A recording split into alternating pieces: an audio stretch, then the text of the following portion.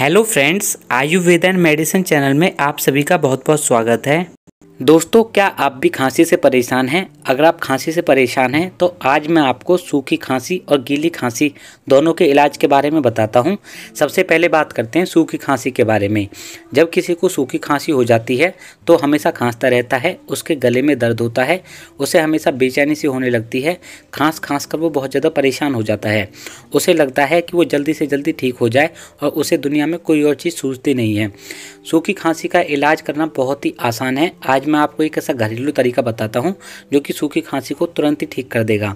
दोस्तों, अगर आप बहुत सारी दवाइयों का इस्तेमाल करके परेशान हो गए हैं, तब भी आपकी सूखी खांसी ठीक नहीं हुई है तो आज मैं आपको एक ऐसा प्राकृतिक तरीका बताता हूँ, जो कि सूखी खांसी को दो दिनों के अंदर पूरी तरह से ठीक कर देगा। इसके लिए आपको चाहिए हल्दी की ज़रूरत पड़ेगी। आपको एक चम्मच हल्दी को तवे पर अच्छी प्रकार से भून लेना है। जब यह अच्छी प्रकार से गर्म हो जाए तो इसमें आपको थोड़ी सी मात्रा में गुड़ मिलाकर इसको आपको दो से तीन गोलियाँ बना लेना चाहिए। जैसे ही दोस्तों आप इनका इस्तेमाल करते हैं, आपको अपने जीप पर इसको रखना है और धीरे धीरे चूसना है। जैसे किसी टॉफ़ी को चूसते हैं, कुछ इस प्रकार से इसे चूसना है। आप देखोगे थोड़ी देर के अंदर ही सूखी खांसी से आपको बहुत ज़्यादा फ़ायदा मिलता है। जब कभी आपको सूखी खांसी दोबारा उत्पन्न होती है तो आप दूसरी गोली या तीसरी गोली ऐसे करके आप इसका इस्तेमाल करें। सिर्फ़ दो दिनों के अंदर ही सूखी खांसी पूरी तरह से ठीक हो जाती है। चलिए दोस्तों, अब मैं आपको बताता हूँ गीली खांसी के इलाज के बारे में।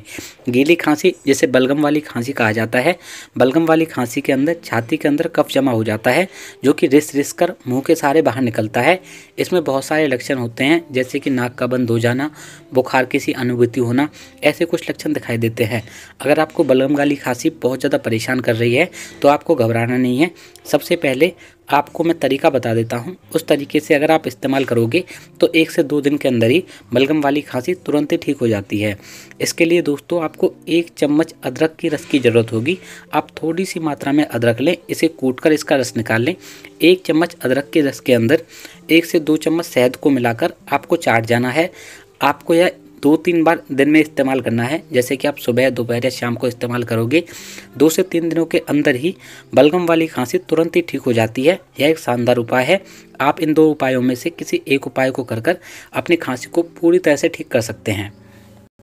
फ्रेंड्स ये थी हमारी आज की वीडियो। आपको हमारी वीडियो कैसी लगी यह हमें कमेंट करके ज़रूर बताएँ। हम उम्मीद करते हैं आपको हमारी वीडियो अच्छी लगी है। इसलिए दोस्तों, आप हमारी इस वीडियो को लाइक करें। चैनल पर नए हैं तो चैनल को सब्सक्राइब करें। बेल आइकन को ज़रूर दबाएँ ताकि न्यू वीडियो की नोटिफिकेशन आप सभी को मिल सके।